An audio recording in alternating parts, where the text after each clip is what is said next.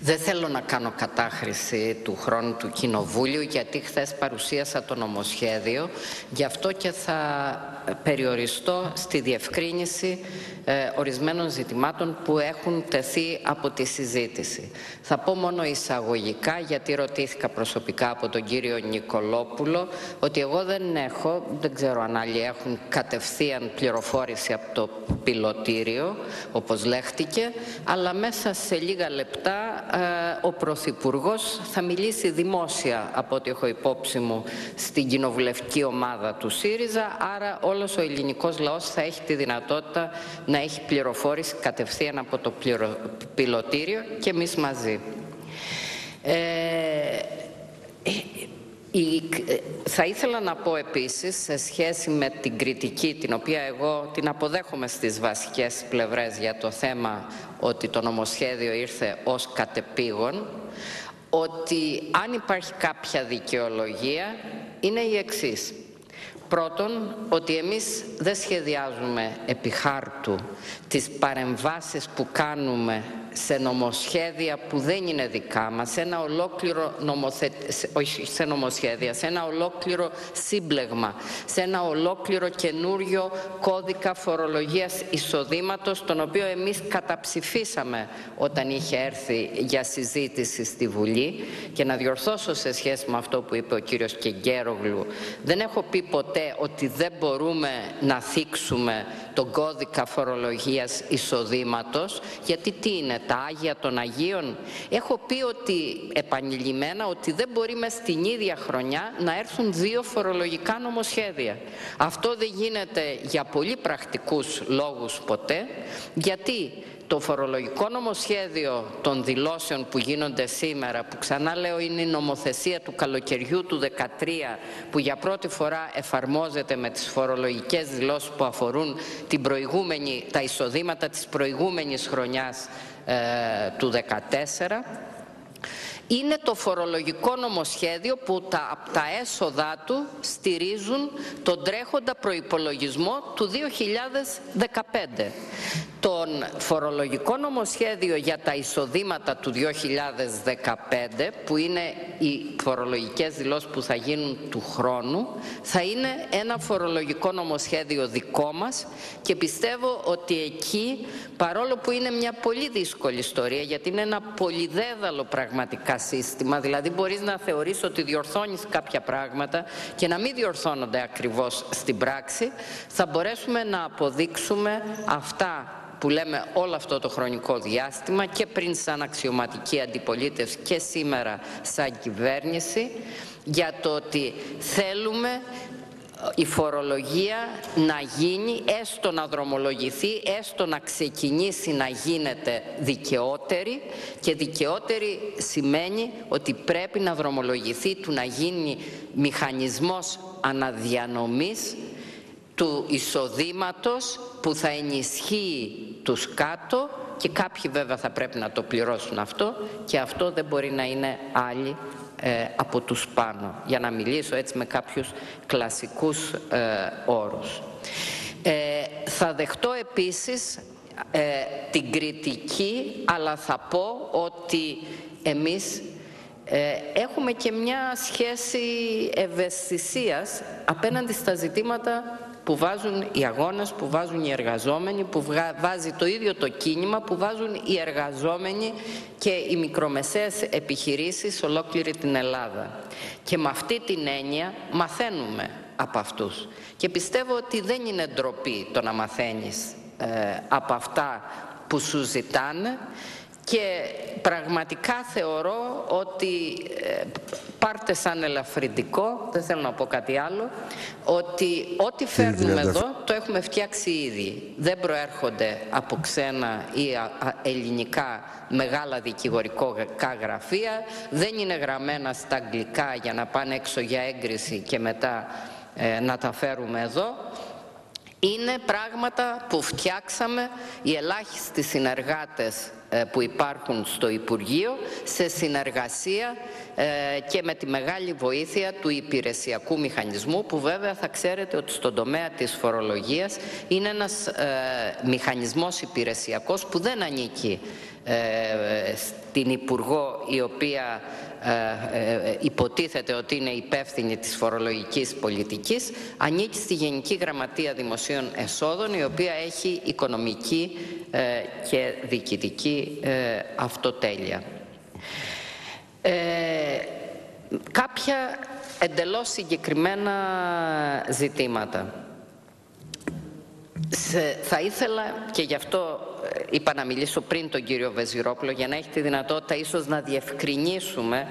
Δεν έχω καταλάβει ακριβώς το ζήτημα που βάζει η Νέα Δημοκρατία, το έθεσε ο κύριος Βεζιρόπουλος και άλλοι επίσης ομιλητές από μεριάς ε, του κόμματος της.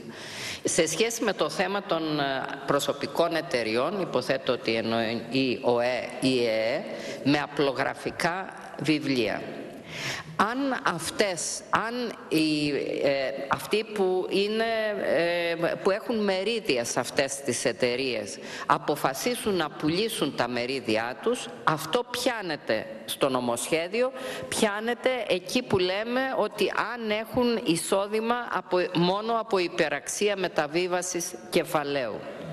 Αν εννοούμε στο επίπεδο του διατηρώ το μερίδιό μου μόνο στον τομέα της φορολογίας, ξέρετε πολύ καλύτερα από μένα και σε σχέση με την προηγούμενη επαγγελματική σας ιδιότητα, ότι τα κέρδη αυτών των εταιριών δεν φορολογούνται στο επίπεδο του φυσικού ε, προσώπου, φορολογούνται στο επίπεδο της εταιρείας και περιλαμβάνονται βέβαια στη δήλωση φορολογίας εισοδήματος ε1 στους κωδικούς 431 και 432 στον πίνακα όμως που όχι τυχαία λέει λοιπά πληροφοριακά στοιχεία γιατί δεν μπαίνουν εκεί για να φορολογηθούν μπαίνουν κυρίως για δύο λόγους όπως είναι διαρθρωμένος ο νέος κώδικας φορολογίας εισοδήματος. Πρώτον, για να καλύψουν τυχόν ε, τεκμήρια και να μην χρειαστεί να πληρώσουν τεκμήρια, γιατί θεωρούνται εισόδημα, άρα καλύπτει τα τυχόν ε, τεκμήρια τους. Μέχρι 12... Όταν δεν καλύπτει τα τεκμήρια, φορολογείται με τα τεκμήρια. Ενώ οι άλλε επιχειρήσει. Ναι, Συγγνώμη. Μα, συγγνώμη. Συγγνώμη, ε, εγώ δεν μπόρεσα να καταλάβω, δηλαδή και με τους συνεργάτες μου οι οποίοι είναι εδώ και παρακολουθούν και είναι φοριακοί και είναι φοριακοί και είναι πολύ πιο έμπειροι που παρακολουθούν. Το πρόβλημα, ε, το μόνο συμπέρασμα που είχαν καταλήξει είναι ότι μήπως μπαίνει θέμα για το θέμα της επιβολής εισφοράς αλληλεγγύης, δηλαδή ότι τα ποσά πάνω από 12.000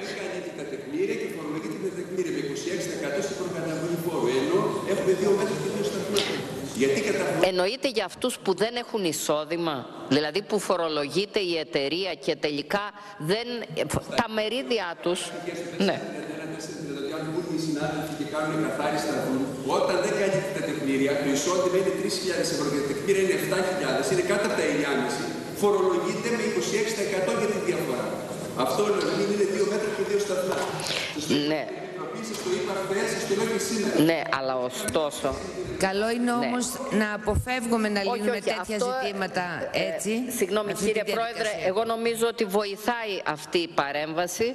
Ωστόσο θα σας πω ε, πολύ πρόχειρα ότι ε, αν μπαίνει στη διαφορά ε, το 26% θα είδατε ότι και στις ρυθμίσεις που κάνουμε πάνω από ένα εισόδημα, πάνω από τις 6.000, στη διαφορά μπαίνει 26%.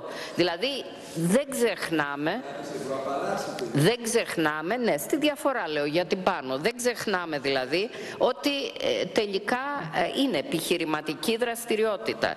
Και αυτό, αυτά που πιάνουν, τα τεκμήρια που έχει στόχο να πιάσει αυτό το νομοσχέδιο με τις μικρές ρυθμίσεις που κάνει, είναι η τρίτη κατά σειρά παρέμβαση για θέματα τεκμηρίων, ακριβώς επειδή τα τεκμήρια, ιδιαίτερα για τους χαμηλόμισθους, ιδιαίτερα για αυτούς που έχουν άτυπα εισοδήματα ε, και που είναι αυτοί που δεν θα έπρεπε τίποτα πραγματικά να πληρώνουν. Είναι ένα τόσο σύνθετο σύμπλεγμα ότι είναι, το είπα και στην Επιτροπή, λίγο σαν τα συγκρόμενα ε, αυτοκινητάκια. Δηλαδή προσπαθείς να αντιμετωπίσεις το ένα και κάποιο άλλο πυροδοτεί τα υπόλοιπα. Δεν είναι τυχαία το ότι είναι η τρίτη προσπάθεια που κάνουμε να, ε, να τροποποιήσουμε, να βελτιώσουμε εντελώς παράλογες, εντελώς παράλογες με βάση την κοινή λογική πλευρές της φορολογικής ε, νομοθεσίας.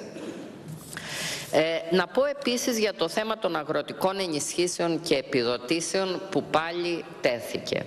Επειδή έχει γίνει μια πολύ μεγάλη συζήτηση από αυτό το βήμα την προηγούμενη ε, φορά, ε, θα διαβάσω, είναι πολύ σύντομο, ένα σημείωμα που μου έδωσε υπηρεσιακός παράγοντας που έχει ασχοληθεί με αυτά και λέει τα εξής. Προγενέστερο καθεστώς, νόμος 2238 του 1994. Ο τεκμαρτός προσδιορισμός του αγροτικού εισοδήματος εμπεριείχε τις ενισχύσεις επιδοτής και ως εκ τούτου δεν επιβαλόταν εκ νέου φόρος. Υφιστάμενο καθεστώς, νόμος 4172 του 2013, αυτός που για πρώτη φορά επιβάλλεται τώρα. Με την αρχική διάταξη της παραγράφου 1 του άρθρου 21, ως κέρδος από επιχειρηματική δραστηριότητα θεωρείται το σύνολο των εσόδων από τις επιχειρηματικές συναλλαγές μετά την αφαίρεση των επιχειρηματικών δαπανών. Επομένως, οι ενισχύσεις επιδοτήσεις στο πλαίσιο της κοινή γεωργικής πολιτικής αρχικώς φορολογούνταν ως εισόδημα από αγροτική επιχειρηματική δραστηριότητα ανεξαρτήτως ποσού. Επισημαίνεται ότι οι κανονισμοί της Ευρωπαϊκής Ένωσης που προβλέπουν τη χορήγηση των ανωτέρων ενισχύσεων επιδοτήσεων δεν προσδιορίζουν το αν φορολογούνται ή όχι.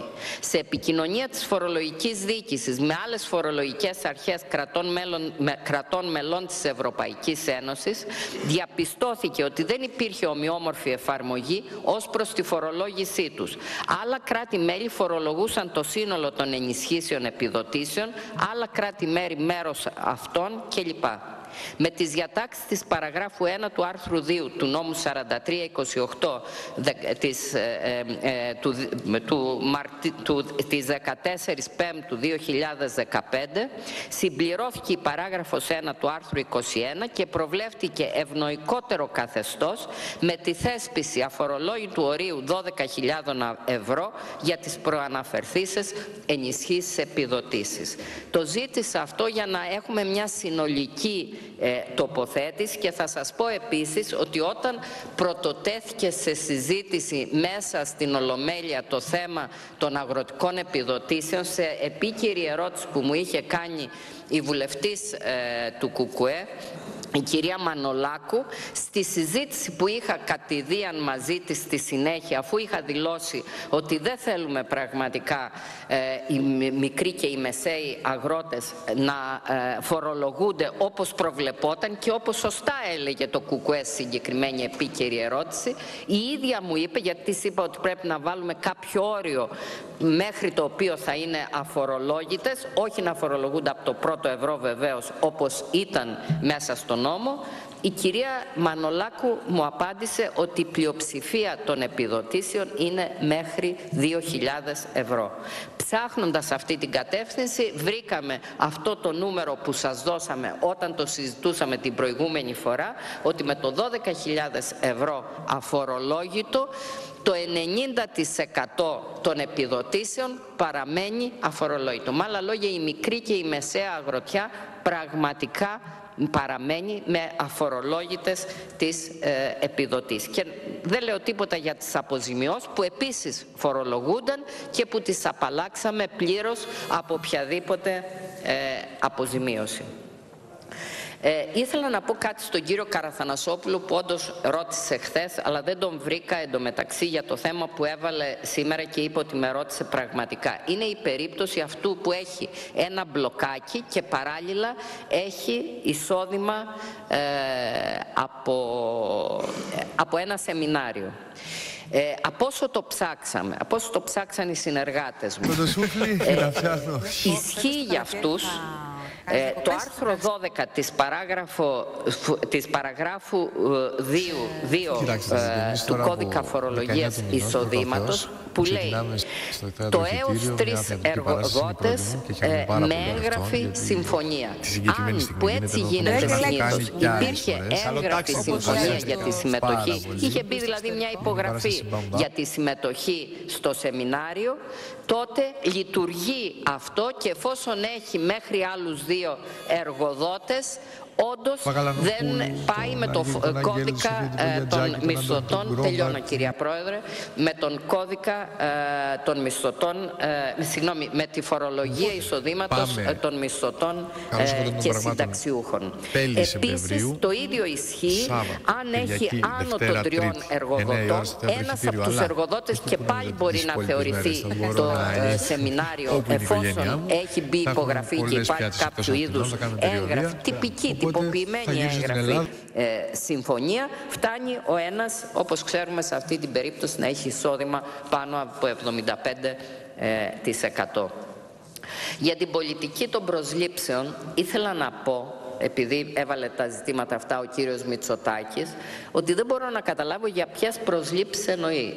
Ποιοι έχουν προσληφθεί μέχρι τώρα; Οι σχολικοί φύλακες, οι καθαρίστριες του Υπουργείου Οικονομικών, οι καθηγητές στην τεχνική ε, εκπαίδευση, αυτοί όλοι δηλαδή που απολύθηκαν το καλοκαίρι του 2003 που δρομολογήθηκε η απόλυσή τους ε, τότε και οι δημοσιογράφοι ε, της ΕΡΤ. Αυτό είναι όλο το όργιο των απολύσεων. Να ξέρετε, των προσλήψεων, συγγνώμη. Να ξέρετε ότι δεν έχει ανοίξει ακόμα ε, οι προσλήψεις, οι εγκριμένες από τις προηγούμενες συμφωνίες της Τρόικας με την προηγούμενη κυβέρνηση για το 2015 και όσες άλλες προσλήψεις έγιναν αυτή την περίοδο αφορούν προσλήψεις του 2014 που έπρεπε να είχαν γίνει το 2014 επανεγγράφηκαν τα κονδύλια γιατί όπως ξέρετε αν δεν γίνουν χάνονται, φεύγουν ουσιαστικά από τον προϋπολογισμό και μόνο ένα μέρος αυτών των προσλήψεων του 2014 και είναι όλοι από ΑΣΕΠ από ΑΣΕ προηγούμενων ετών που έπρεπε τα παιδιά εδώ και χρόνια να έχουν ε, προσληφθεί. Στο Υπουργείο Οικονομικών θα σας πω ότι είναι ικτρή κατάσταση. Ο συνάδελφος που μίλησε για το θέμα των, των αυτών που έχουν προσληφθεί και είναι καινούργοι αναφέρθηκε σε αυτούς που προσλήφθηκαν από την προηγούμενη κυβέρνηση το 2014. Δεν έχουν γίνει ακόμα προσλήψεις φέτος παρά κάποιες ελάχιστες που χρωστιούνταν από το 2014, ελάχιστες, όταν λέω ελάχιστες, έχει προκηρυχτεί από μεριά της Γενικής Γραμματέας Δημοσίων Εσόδων δημόσιο, δια, ανοιχτός διαγωνισμός μέσα από την αγορά με 465 θέσεις που είχαν εγγραφεί το 2014 και δεν ξαναγίνανε και βρε, ξαναβάλαμε τα δεν είχαν γίνει τότε τα κονδύλια. Και όλοι όλοι είναι να προσβληθούν 300 που δεν ξέρω πού θα πρωτοπάνε στο σύνολο του Υπουργείου Οικονομικών.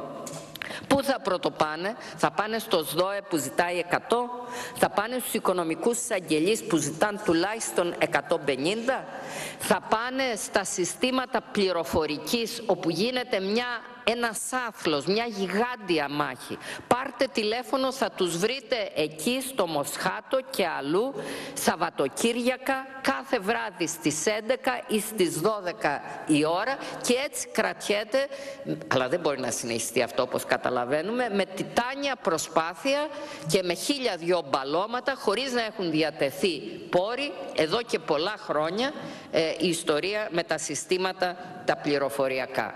Εδώ πραγματικά χρειαζόταν να έρθουν άνθρωποι. Αν θέλουμε να ελέγξουμε πρέπει να υπάρχει ελεγκτικός μηχανισμός. Και το πρόβλημα βέβαια όπως και σε όλο το δημόσιο τομέα δεν είναι οι απολύσεις. Οι απολύσεις είναι αυτές που σας είπαμε και βέβαια δεν πήραμε ούτε πτυχία ούτε ανθρώπους οι οποίοι είχαν προβλήματα με δικαστήρια καταλαβαίνετε τι χαρακτήρα. Πήραμε αυτούς που άδικα είχαν απολυθεί και είχαν απολυθεί για ποιο λόγο; Για να σηματοδοτήσουν χρηματοδοτήσουν ένα τσουνάμι εξόδου από το δημόσιο, αυτή είναι η πραγματική έξοδος, δεν είναι αυτή η ελάχιστη ε, που πήραμε, εξόδου από το δημόσιο έμπειρων ανθρώπων. Εγώ συζητάω συνέχεια με τον υπηρεσιακό μηχανισμό στο Υπουργείο Οικονομικών.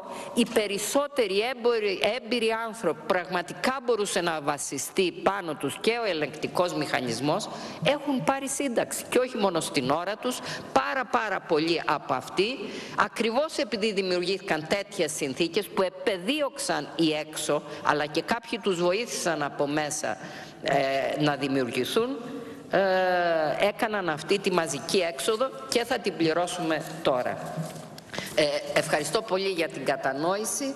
Να πω ότι μια και βρίσκομαι στο βήμα και μένουν 10 μέρες, δηλαδή ε, αντίστροφη μέτρηση για την ολοκλήρωση της ρύθμισης των έως 100 δόσεων, θα ήθελα να κάνω για τελευταία φορά αυτή την έκκληση που έχω κάνει όποτε έχω βρεθεί στο βήμα προς τη μεριά της φορολογικής δίκησης, προς τη μεριά πριν απ' όλα των εφοριών.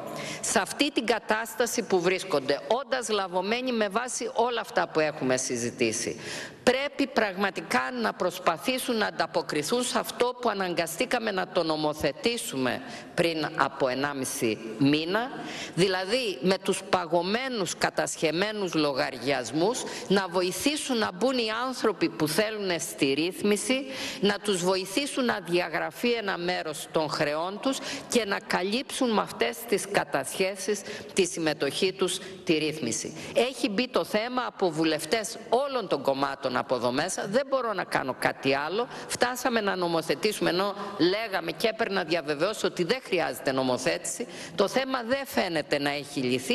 Μένουν 10 μέρες. Και επίσης να θυμίσω ότι δυστυχώς σε εφορίες και σε τα μεγάλα κέντρα ελέγχου σε όλη τη χώρα βρίσκονται ακόμα χιλιάδες ανέλεγκτες δεν υπάρχει περίπτωση να έχουν ελεγχθεί υποθέσεις εταιριών κυρίως μικρομεσαίων στη μεγάλη τους πλειοψηφία που θέλουν να μπουν στη ρύθμιση το μεγαλύτερο μέρος τους δυστυχώς δεν θα μπορέσει να μπει. Παρακαλώ πάρα πολύ να γίνει μια προσπάθεια μέσα σε αυτές τις δέκα μέρες να ελεγχθούν όσο το δυνατόν περισσότεροι, αλλά προσέχοντας έτσι ώστε να μην καλλιεργούνται ε, υποψίες για οτιδήποτε να είναι με αυστηρή σειρά με τη σειρά που αυτές οι εταιρείες έχουν τεθεί χρονολογικά ε, υπό έλεγχο. Σας ευχαριστώ. Ευχαριστούμε και εμείς την κυρία Βαλαβάνη. Το λόγο έχουν οι εισηγητές για τη δευτερολογία. Θα παρακαλούσα πάρα πολύ να κρατήσουμε το χρόνο της δευτερολογίας. Η κυρία η κυρία Εκατερίνη Παπανάτσιου από το ΣΥΡΙΖΑ.